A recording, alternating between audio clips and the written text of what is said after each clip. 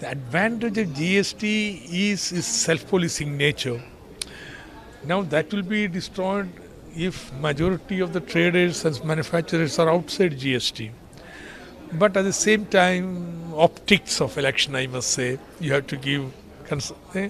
All right. So there is a threshold level of 40 is also accepted now, besides 20 is for the states to decide whether you want 20 or 40. So this is one.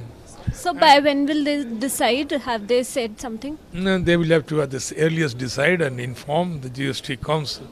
Second was the service tax, not service uh, tax, GST for service providers. So even in the old regime, there was no composition scheme for service tax people. So we first introduced a composition scheme up to 50 lakh rupees.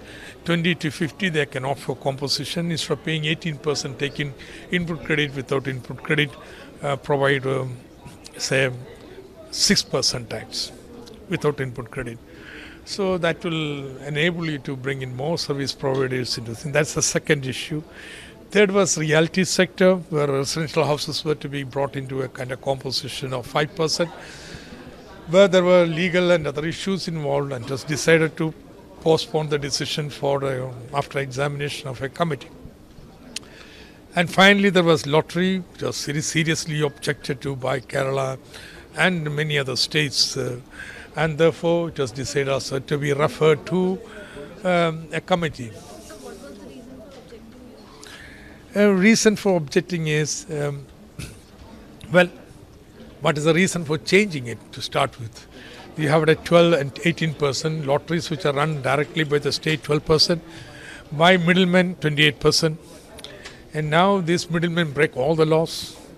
Therefore, uh, some it was decided after because when GST came, the kind of laws which restricted the operation of these middlemen.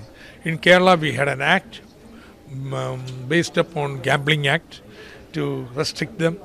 Now, with GST coming, that was became invalid.